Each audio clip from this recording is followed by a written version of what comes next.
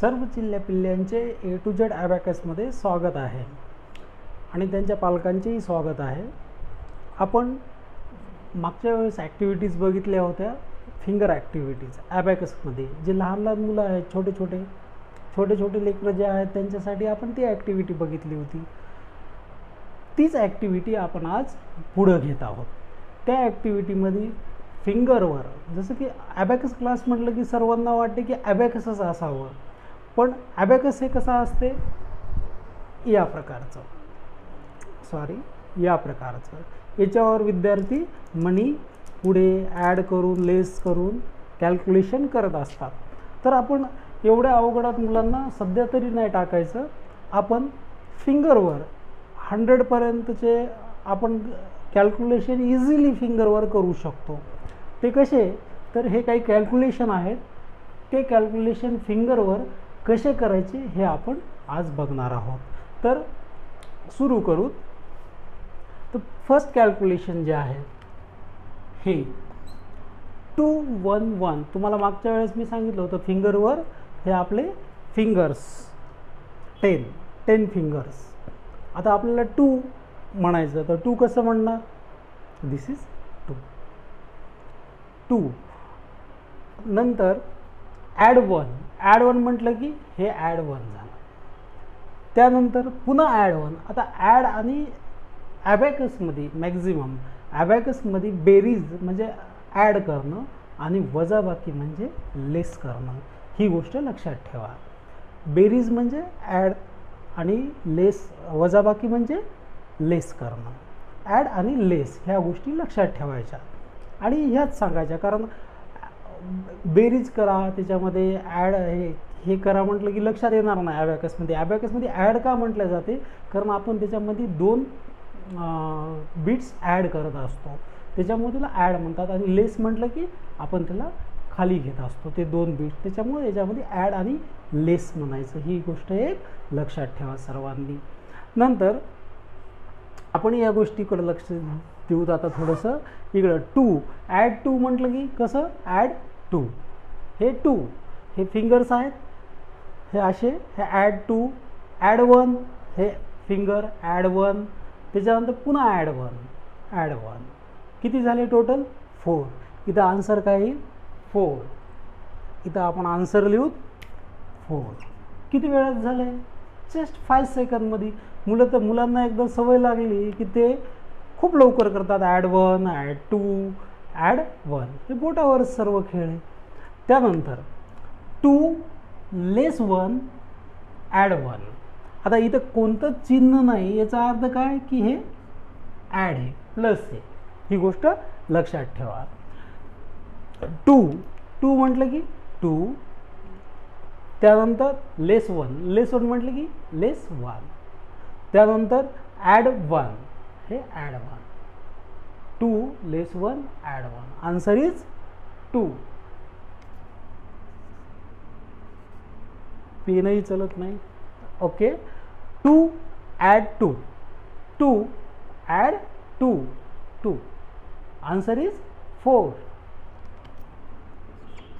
जे विद्यार्थी लहान आहेत आताच शिकत आहेत बेरीज वजाबाकी के जी वन के जी टू मधले जे विद्यार्थी आहेत त्यांना बेरीज वजाबाकी असं काही ऑब्जेक्ट घेऊन शिकवण्यापेक्षा आता फिंगर फिंगर हेच हेच ऑब्जेक्ट करायचं. हे कुठं जाणार आहे का? नाही त्याच्याजवळच असणार आहे तो कधी पण. Two one three four five असं म्हणत राहील. आणि त्याच्या लवकर लक्षात बसेल बेरीज आणि वजाबाकी. म्हणजे ॲड करणं आणि लेस करणं ह्या गोष्टी त्याच्या एकदम पक्क्या लक्षात राहतील. जर ही ॲक्टिव्हिटी पालकांनी रोज जर त्याची घेतली तर. आता पुढच्या कॅल्क्युलेशनकडे जाऊ. ॲड वन करायचं.